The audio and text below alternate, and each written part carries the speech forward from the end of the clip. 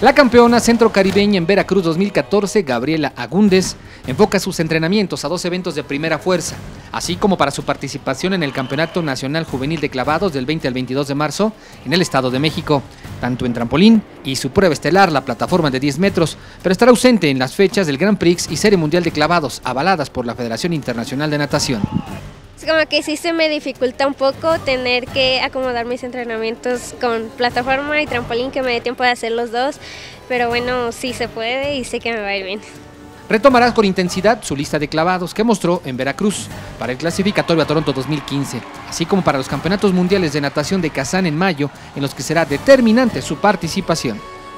Llevo seis Olimpiadas Nacionales, voy por mi séptima, eh, pues me ha ido muy bien en la mayoría y pues me representa mucho ir representando a mi estado, recordar de dónde soy, la verdad es que está muy bien. La niña de 14 años dijo que debe, en el grado de dificultad, perfeccionar las tres y media vueltas en holandés y asegurar que las puntuaciones sean no menores al 7.5 por parte de los jueces para ganar.